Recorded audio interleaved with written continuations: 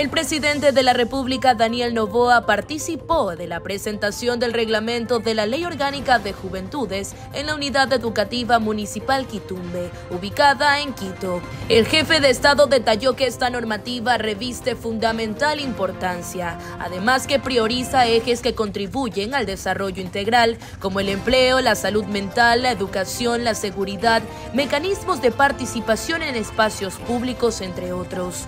Este reglamento contiene toda una hoja de ruta y procedimientos para asegurarles a ustedes la ejecución de políticas públicas que promuevan su desarrollo. Para su construcción, el Ministerio de Inclusión Económica y Social lideró procesos participativos con instituciones y actores de la sociedad civil. Una cosa que nos caracteriza a los jóvenes es que peleamos por nuestros sueños.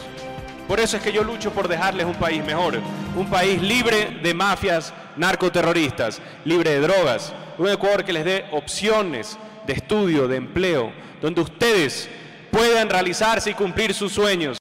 El presidente Novoa reafirmó que su gobierno está comprometido con los jóvenes, quienes representan el 20.3% de la población, y afirmó que esto se refleja en logros históricos como la inserción de 64 mil jóvenes en el campo laboral, gracias a la Ley Orgánica de Eficiencia Económica y Generación de Empleo.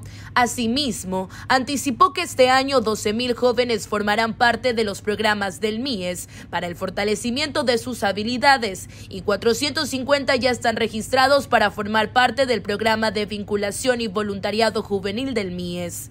Para Última Hora Ecuador, Paula Gun.